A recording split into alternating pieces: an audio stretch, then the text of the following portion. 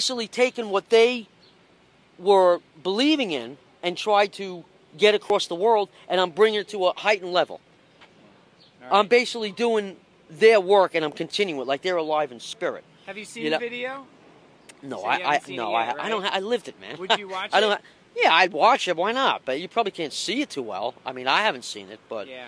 you know. Do you wanna watch it um, now? No, I don't really care to, to, to, to watch it. And you know man. what? I was thinking about it like, I, I, I, even would have let all of that go, but the fact that I couldn't breathe, really, like that was it.